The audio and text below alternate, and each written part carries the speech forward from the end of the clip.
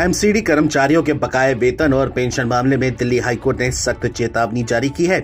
Court ने कहा है कि अगले चार हफ्तों के भीतर सैलरी का भुगतान पूर्ण रूप से हो जाए। नहीं तो हम केंद्र को कहेंगे कि वो इसे भंग कर दे।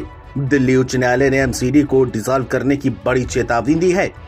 हाईकोर्ट ने सेवारत कर्मचारियों के वेतन और पूर्व कर्मचारियों की पेंशन और बकाये का भुगतान करने में विफल रहने पर दिल्ली नगर निगम को फटकार लगाई है।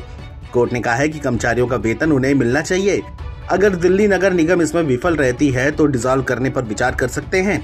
दिल्ली हाईकोर्ट ने शुक्रवार को सख्त लहजे में चेतावनी देते हुए कहा कि कर्मचारियों का मूल वेतन होता है।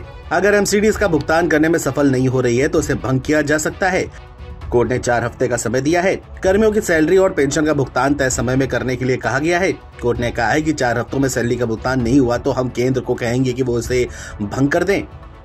एमसीडी कर्मियों के सैलरी पेंशन मामले में इससे पहले भी कोर्ट ने सख्त रुख अख्तियार किया था। पहले हुई सुनवाई के दौरान कोर्ट ने कहा था कि हम अब इंतज़ार नहीं कर सकते। कर्मचारियों और सेवानिवृत्त कर्मी वेतन और पेंशन के लिए निरंतर इंतज़ार नहीं कर सकते।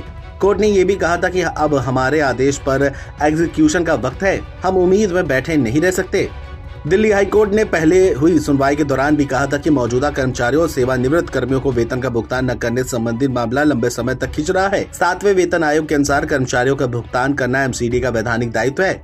अदालत ने एमसीडी के वकील को स्पष्ट कहा कि वह एमसीडी की ओर से अपने संसाधनों को बढ़ाने के तरीके और साधन खोजने का इंतज़ार नहीं करेगी। एमसीडी अगर सैलरी देने की स्थिति में नहीं है तो उसे परिणाम भुगतने होंगे।